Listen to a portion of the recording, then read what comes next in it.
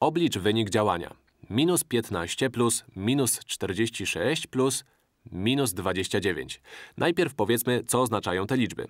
Narysuję dla każdej oś liczbową. Najpierw minus 15.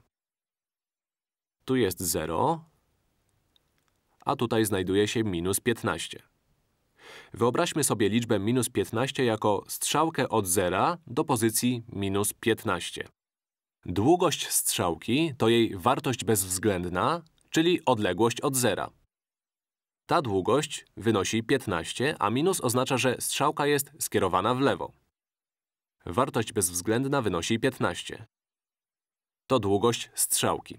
Zróbmy to samo z liczbą minus 46. Rysuję kolejną oś liczbową. Niech 0 będzie tutaj. Wtedy minus 46 powinno być gdzieś tu.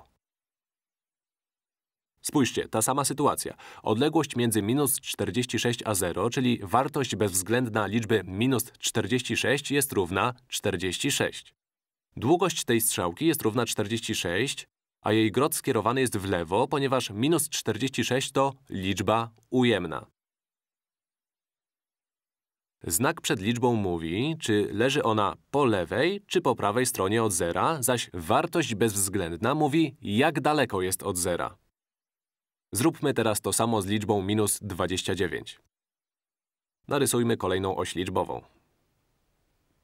Znów muszę użyć żółtego.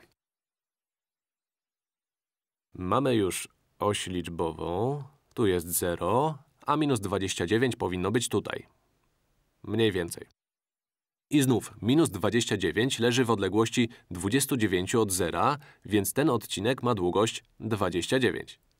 I strzałka w lewo, bo to minus 29. Gdybyśmy mieli 29, strzałka byłaby w prawo. Wszystkie liczby są zobrazowane, znamy ich wartości bezwzględne. Teraz spróbujmy je dodać. Można to zrobić sposobem, mianowicie dodać te strzałki. Dodajmy tę strzałkę do tej strzałki, czyli ustawmy się w miejscu, gdzie strzałka się kończy, a potem dostawimy do niej tę zieloną i tę pomarańczową. Zróbmy to.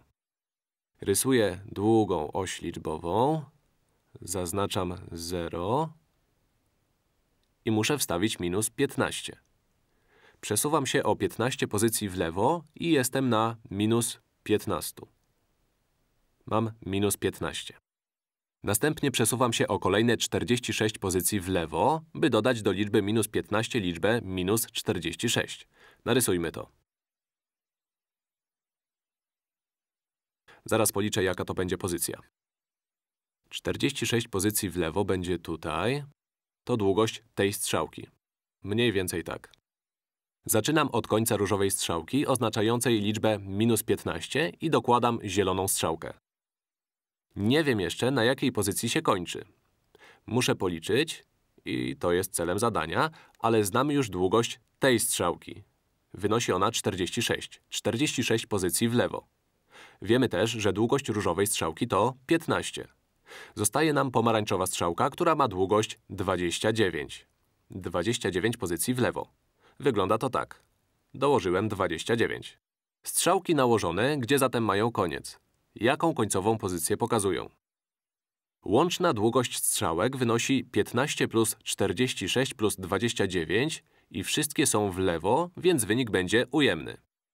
Skoro wszystkie mają taki sam zwrot, możemy dodać ich wartości bezwzględne, czyli 15 zamiast minus 15, 46 zamiast minus 46 i 29 zamiast minus 29, po czym umieścić minus przed wynikiem. Dodajmy je. 15 dodać 46, dodać 29 równa się… Zobaczmy. 5 plus 6 to 11, plus 9 to 20, 2 w pamięci, 2 plus 1 to 3, plus 4 to 7, plus 2 to 9.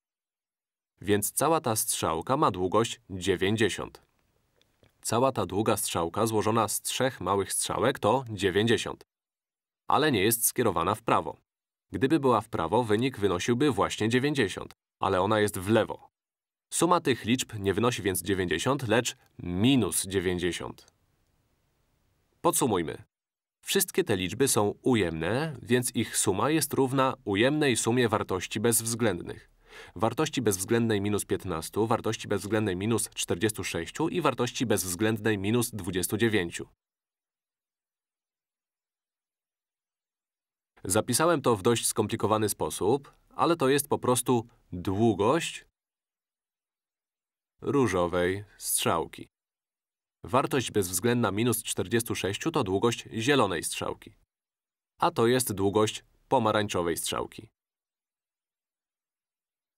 15 plus 46 plus 29 równa się 90, ale strzałki są w lewo, dlatego wynik to minus 90.